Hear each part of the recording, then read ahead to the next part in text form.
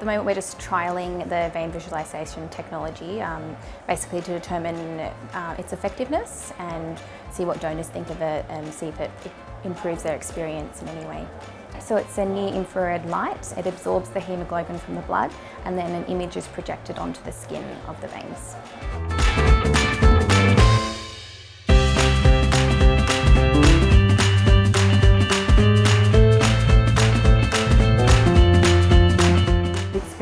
Staff have said they've enjoyed using the technology on existing donors in trying to find more difficult veins or things where they thought they had no hope in the past, but they've used it in a slightly different way and have had success with it.